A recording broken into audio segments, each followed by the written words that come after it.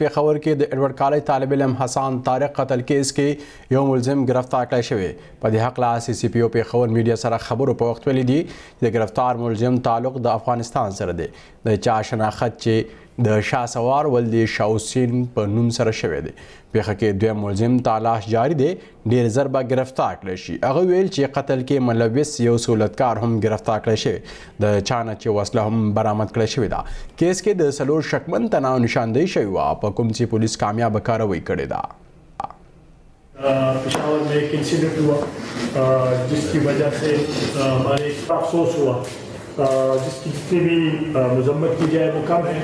और हमने उसी वक्त ये एज ए वापस सोसाइटी में जब ये पहुँचे तो उस जगह पे साइकिल सवार ने उसको इंटरसेप्ट किया और उनसे उनका मोबाइल फ़ोन छीनने की कोशिश की और एविडेंस को कलेक्ट करना शुरू किया गया और मौके से करना शुरू किया। ये वो रक्षा था जिसमें खान बैठा था, ये वो दो उस वक्त जो ये थे मुलजिमान ये वो मोटरसाइकिल है जिन्होंने इनको इंटरसेप्ट किया we identified them we we और उस आइडेंटिफिकेशन से पहले next please we found the track next और हमने इसमें उसमें आइडेंटिफाई हुआ कि ये दो बंदे जो है, ये कौन कौन है? चला रहा था, मोटरसाइकिल पे, उसके साथ भी पिस्टल था।